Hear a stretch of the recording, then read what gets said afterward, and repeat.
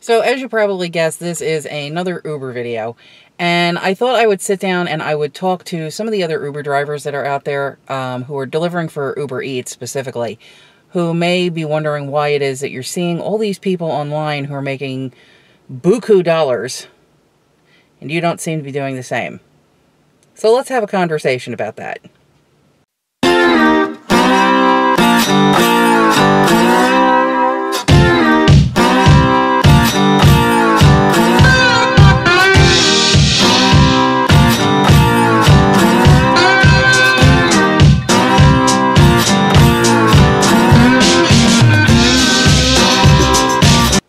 Okay, so the first thing I would ask is where are you delivering? Now, if you're in some place like a big city, like if you're um, if you're in California, especially around Los Angeles or Sacramento or something like that, you might be getting a heck of a lot more orders than say somebody who's in Asheville, North Carolina. Okay, the reason being that you've got a larger density of people, you've got a larger density of traffic, you've got a lot more selections as far as restaurants and places to go, and you've also got a lot more people who are going to find the value in spending a little bit of extra money to have somebody else deal with all the traffic and all the crap inside the restaurant to bring them their food. Okay, so if you're in a smaller town, you're definitely going to get orders because I'm in a small town and I definitely get orders but I'm not going to get the same quantity of orders that uh, that somebody in maybe New York City or uh, Miami or San Francisco. I'm not going to get the same quantity of orders that they're getting. In the area that you live in, what's the age demographic? Believe it or not, you will get orders from older people once in a blue moon. But the largest demographic of people who are going to order food and be willing to spend the $5 or so extra to have the food delivered is going to be younger people. Older people tend to cook more often, and younger people tend to eat out more often. So, if you are in an area that is a higher density of people over, say, the age of 40, okay, you are probably not going to get the same quantity of orders as you would in an area that is very heavy with millennials. The area that you live in, does it have a business district? Okay, like the area that I live in, there is we have a we have an area where it's mostly a lot of tech companies, pharmaceutical companies, things like that, and they all sort of congregate in one particular area. Now, if you do have a district like that where there's a lot of businesses or a lot of industry or something like that, the next question to ask is, are there a lot of restaurants right in and around that area? If there are, people are going to be less likely to spend the extra money to have food delivered in if there is a large selection of places to eat within walking distance of where they work. Another question is going to be what kind of cuisine is available in your area? If you live in an area that has a lot of fast food but not much else, you're probably going to get delivery requests, especially from places like McDonald's, but they aren't going to be high value requests. Okay. Um, Thankfully, the area that I live in, there actually is a varied array of food that you can order, but we do have a lot of Indian restaurants. And the problem with that is going to be the same kind of problem that you would have if the only thing in your area available really is McDonald's. Okay.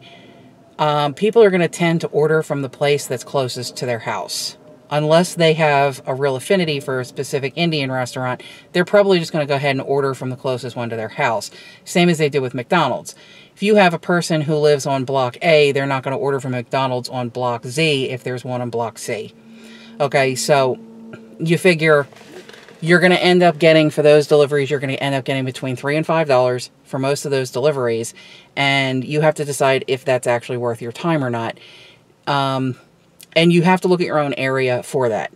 Take a look, drive around your area, find out how many restaurants there are. and you don't have to have an exact count, but get a get an idea of how many restaurants there are and how varied the cuisine is. Okay, this was going to sound really, really silly, but this is something that I have learned over time delivering on my own. What is the housing situation in your area? Is it mostly apartments? Is it mostly housing developments? Or is it mostly people who are private landowners? If you live in an area that has a lot of private landowners, especially if there is a decent distance between neighbors, you're going to get less order requests.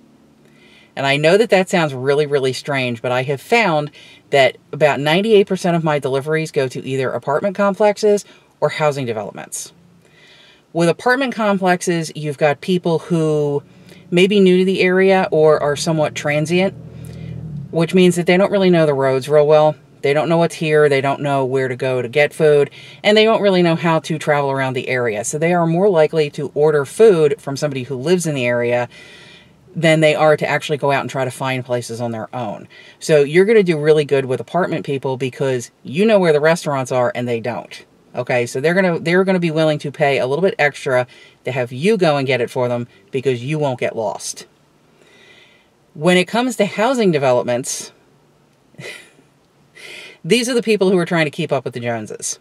Okay, they want their neighbors to see that they're having food delivered by an app delivery service, whether it's Uber Eats or Grubhub or Postmates or whatever the case may be, they want their neighbors to see that they're having these deliveries made because what that does is it tells the neighbors that they are well off enough that not only can they afford to have somebody else cook their food for them, they can afford to have it delivered and they can do better than just ordering pizza every night. Now, if you have people who are landowners, nine times out of ten, they don't really have anything to prove to anybody in their neighborhood, and they also already know the roads themselves. They are more likely to either cook or get in their car and go get the food themselves. Now, the other thing to ask yourself is how well are the restaurants handling the service? As you know, when you go in to pick up a meal, the restaurants are supposed to have the meal ready for you when you come in, but that doesn't always happen. So if you are consistently waiting 10, 15 minutes at a restaurant for them to get the meal together and give it to you to deliver, that's actually cutting down on the amount of deliveries that you can make in a day because the longer you stand in a restaurant, the less pings you can accept from other places. So take a good look at the area that you're in, and I'm not saying that there's really anything that you can do about it because there's not. Um, but that is going to affect your bottom line. Okay, where you could normally do maybe 10 deliveries in a day. If 10 of those deliveries, out of those 10 deliveries, if five of them are taking 15 minutes, you might end up only getting 10 instead of maybe getting 15 that day. And that obviously is going to impact your bottom line. Are you going out at the right times of day and on the right days?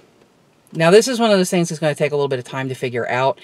Um, I have figured out that in my area, lunchtime from Tuesday through Saturday is the best time to go out. Uh, Mondays are really bad days, holidays are really bad days, and Sundays are touch and go. Now, when the weather is bad, obviously more people are going to call to have delivery because they don't want to travel in the rain or the snow. I ain't traveling in the snow either, so not in this area. They don't they don't treat the roads well enough down here, so I ain't going out in the snow, but I'll go out in the rain. But you're going to have to spend some time and figure out what days are the worst days to go out on and what times of the day are the worst times to go out. Now, in my area, I know that there are Uber drivers that go out to deal with the dinner traffic, which I have chosen not to do. And the reason I chose not to do that is because the traffic in this area is absolutely insane. I have gone out to deliver dinners at night, and I've had people order from a restaurant on one side of the real heavy traffic and then they live on the other side. And then they get angry at me because I got stuck in rush hour traffic trying to get to them and it took way too, way too long. Now, I do put the food in a hot bag, but if I'm stuck in traffic for an hour, the hot bag's not going to keep the food as warm as it should have been when it got to your door. So a trip that would have taken me normally 10 minutes is taking me an hour because I'm getting stuck in traffic. Now, part of the problem here is the layout of the town. Okay, we've got a lot of development going on in this area, and it's just more and more and more. And we've got kind of a big city on top of a small country town infrastructure. So we've got all this traffic that's dumping out onto two lane roads, and traffic gets locked down for about two or three hours. So those two or three hours, it's actually not worth it to me to go out and make a delivery because it could take me that long to get one delivery done. So now at the end of that delivery, I'm pissed off, I'm frustrated, and I am stressed out. And my customer is really upset because they got a cold waffle. I'm still dwelling on the guy with the cold waffle. it's been weeks and I still feel really bad about that. And last but not least for this video, do the people in your area tip? Now, I see, I go online, I'm part of the forums, I'm part of groups, I watch videos, I do the whole nine yards, and I'm seeing people coming back with, oh, this guy gave me a $10 tip, and this guy gave me a $15 tip, and I'm sitting there and I'm looking and I'm going, what? Because my area, they don't tip. People do not tip in North Carolina. And I'm not bitter about it because I get it. You know, people are, you know, either not raised to tip or they think that tipping is wrong or again they're going online and they're watching all the videos too and they think we're making a zillion dollars for our deliveries. And here i am making a delivery that netted me three dollars for a 20 minute trip and i'm not getting a tip out of it because the person i'm delivering to thinks that i'm getting all the money that was paid extra or something. I don't know. I hate to say this but my largest tip actually came yesterday and it was five dollars uh, I had a gentleman who ordered a order from McDonald's, believe it or not. McDonald's orders usually don't tip. But um, this guy ordered some food from McDonald's. I got it to him and he paid me a $5 tip, which was actually more than what I got for the delivery from Uber Eats. So that was a little bit mind blowing. But I've also had things where um, yesterday, again, I had a tip came in from a previous week. So it's been, it was from a delivery that was actually eight days ago. Okay. And they sent me a dollar tip. I'll try not to spend it all in one place. What can I tell you? But that seems to be pretty typical. Um, the average tip that I get here is $2. Okay. Every once in a while, somebody will go crazy and give me a $4 tip or a $5 tip like they did yesterday.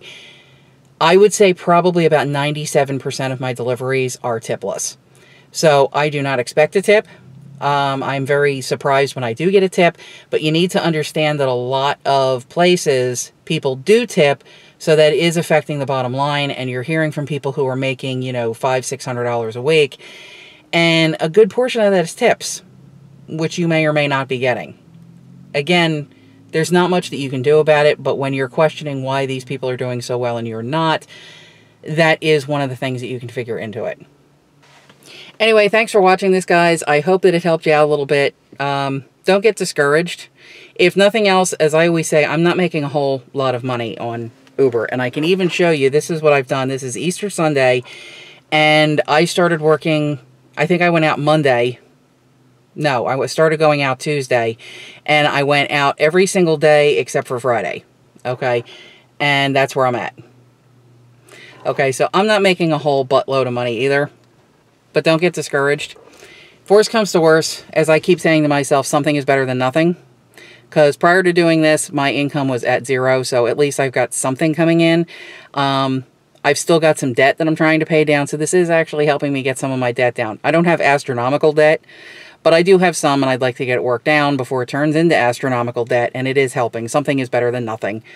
Um, when I am on my downtime, I time I turn my car off so I'm not burning fuel, and I'm learning how to I'm learning how to maximize what I'm making doing this. And that's pretty much what you got to do. It's going to suck the first two or three weeks because you're still trying to figure out how to do all of that. The best ways to get places, how to burn as little fuel as possible, how to maximize your fuel economy. Trust me, you will get there. Okay, um, it actually doesn't take all that long. I haven't been doing this very long. So don't get frustrated, don't lose your way, and don't lose hope. Keep doing it. At least it's something to do, and it is something. Because as far as I figure, I made $135 a week, but this week, but I'm $135 richer than I was last week, so that's always a good thing. Thanks for hanging in there with me, guys, and I will see you in the next video. Have a good one. Happy Easter.